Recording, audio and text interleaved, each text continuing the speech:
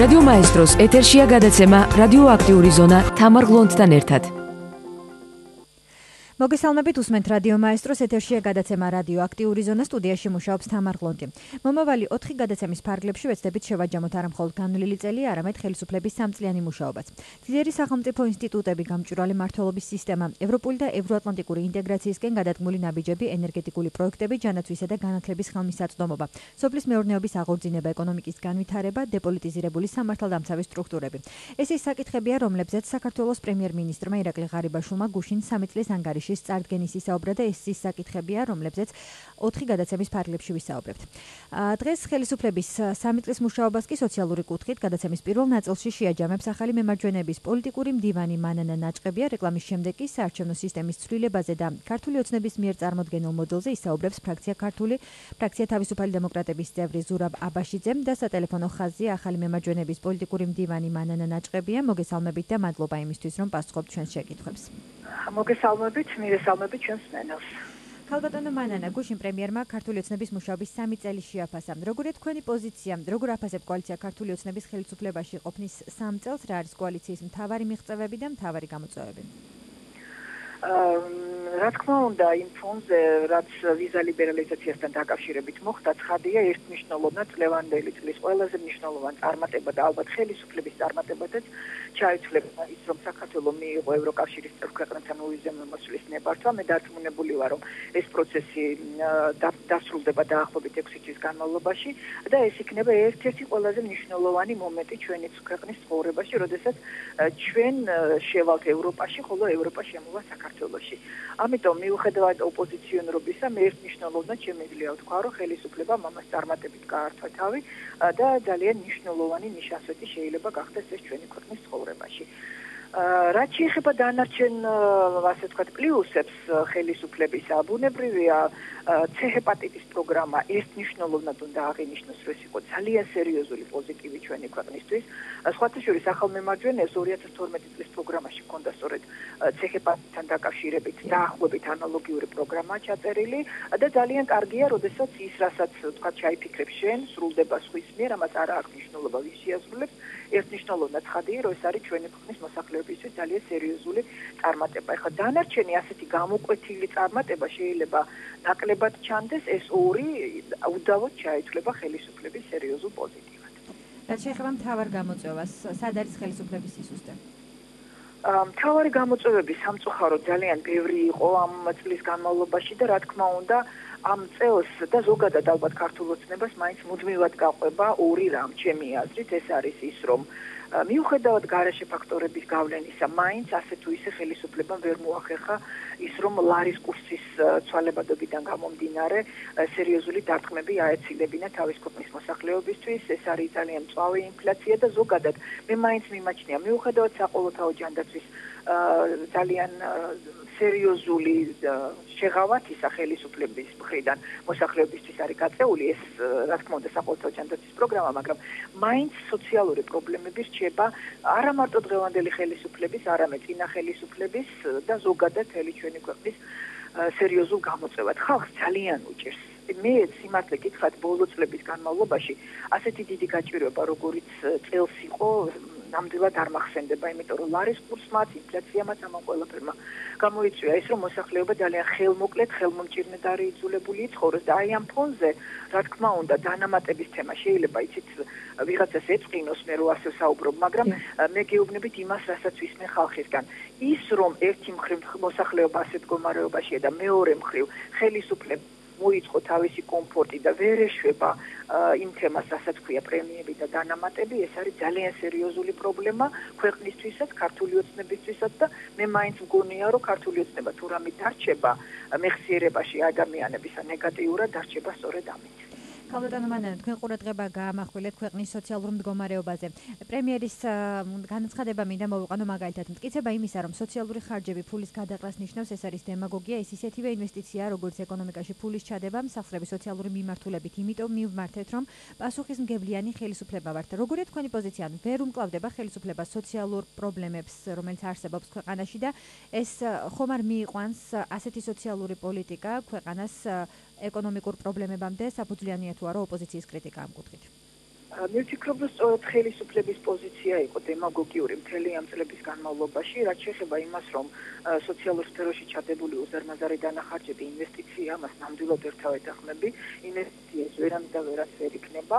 რა თქმა უნდა, ძალიან ძნელია გაჭირებულ მოსახლეობას უთხრა, რომ საყოველთაო ჯანდაცვის პროგრამა არ უნდა ხორციელდებოდეს, სხვა სოციალური პროგრამები არ უნდა ხორციელდებოდეს. ცხადია, ეს უნდა გაკეთებულიყო, იმიტომ რომ მართლაც მოსახლეობა იყო უმძიმეს მდგომარეობაში და ნებისმიერი ოჯახი ავანტყოფობის შემთხვევაში ხდებოდა უმწეო.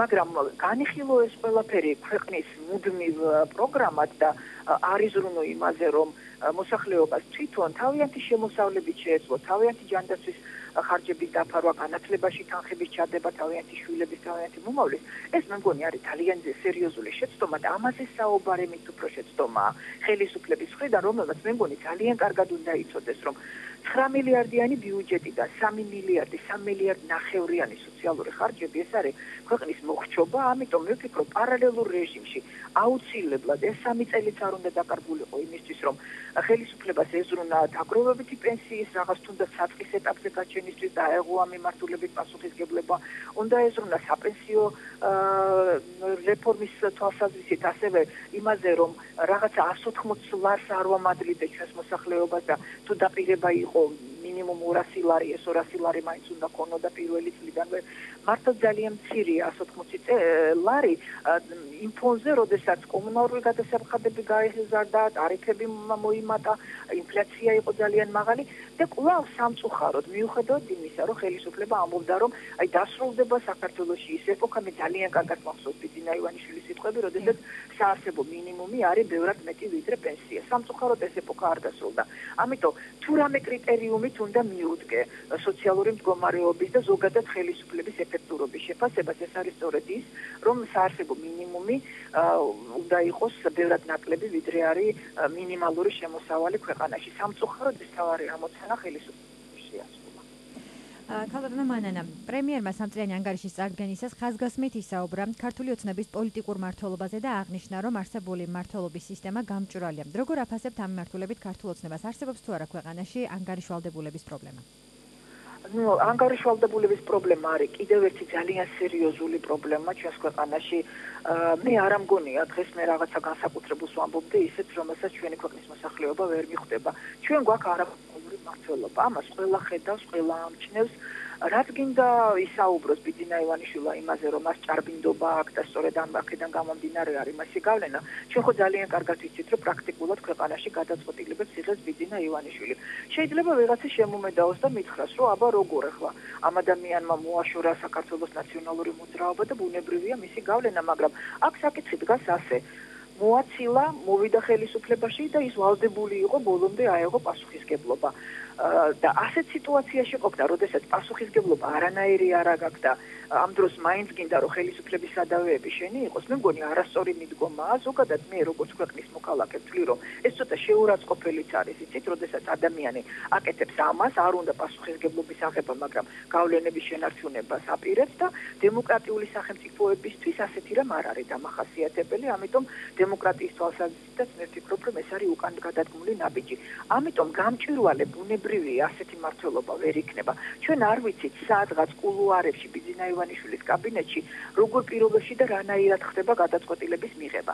რაც შეეხება გამჭვირვალობის მეორე მხარეს, ვთქვათ, როგორი ხარჯება ბიუჯეტი, რანაირად ხდება თანხების გადანაწილება, რა თქმა უნდა ეს გამჭვირვალე არა იმიტომ რომ ხელისუფლებას უნდა, არამედ იმიტომ რომ ჩვენ გვაქვს ჯანსაღი სამოქალაქო საზოგადოება, ყავს არასამთავრობო სექტორი, არიან თელი რიგი არასამთავრობო ორგანიზაცია, მაგალითად ინფორმაციის თავისუფლების განვითარების ინსტიტუტი, რომელიც წვალობს მართალია არაწვდიან ინფორმაციას, მაგრამ მაინც ბოლომდე ცდილობს, რომ ყველაფერი ხელის გულზე დაიდოს და აშკარად იყოს.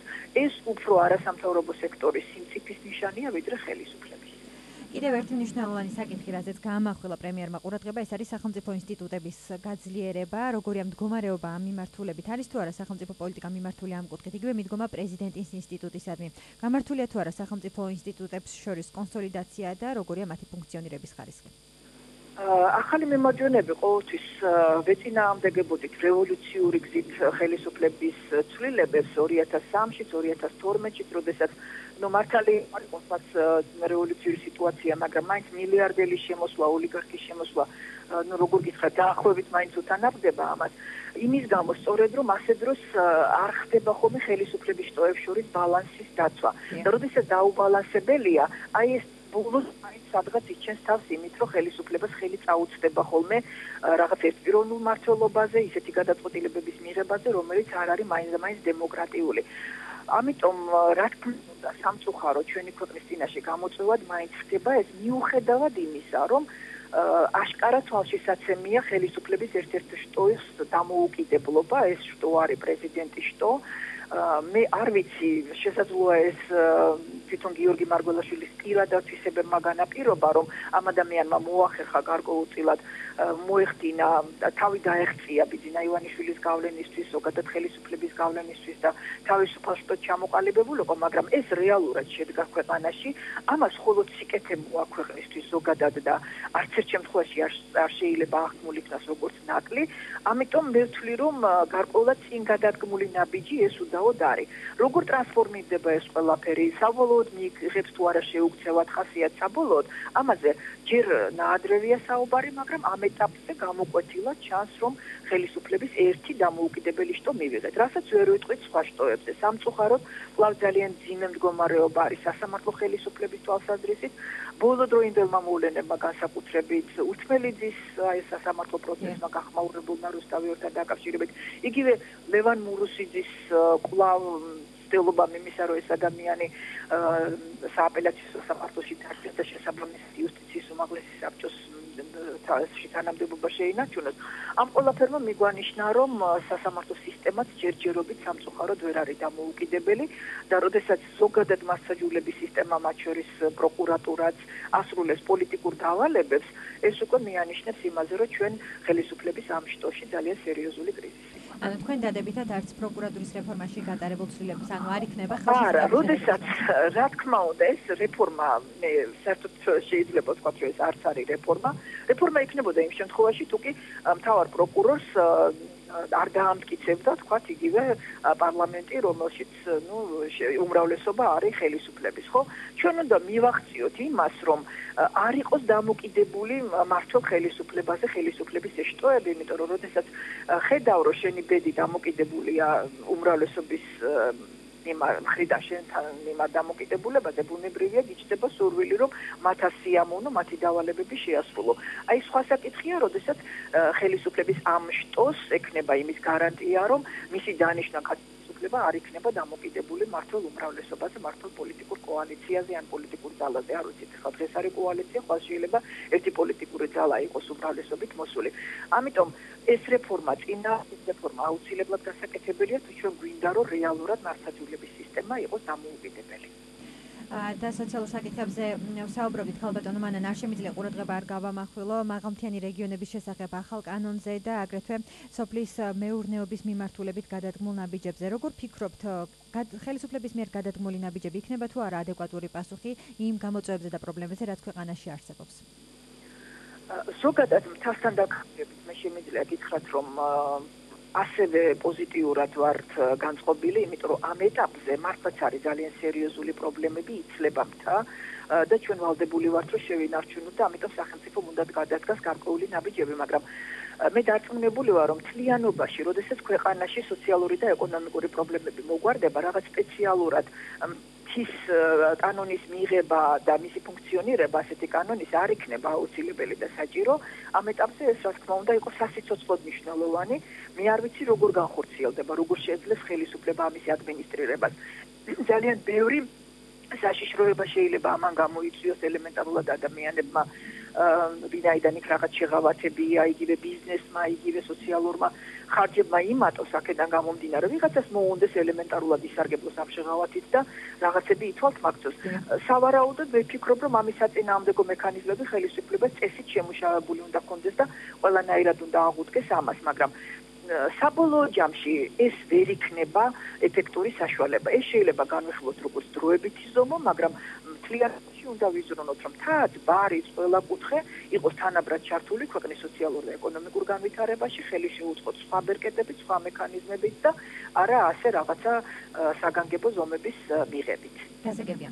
მადლობა იმისთვის, რომ პასუხობდით ჩვენ შეკითხვებს. მე რადიო მაესტროს მსმენელს შევახსენებ, რომ პირდაპირ ეთერში საუბრობდა ახალი მემარჯვენეების პოლიტიკური მდივანი მანანა ნაჭყებია. გადაცემის მეორე ნაწილში რეკლამის შემდეგ საუბრობთ საარჩევნო სისტემის ცვლილებაზე და ქართული ოცნების მიერ წარმოქმნილ ახალ მოდელზე. თემაზე ისაუბრებს ფრაქცია თავისუფალი დემოკრატების წევრი ზურაბ აბაშიძე. დაგველოდეთ პირდაპირ ეთერში რამდენიმე წუთში ბრუნდებით.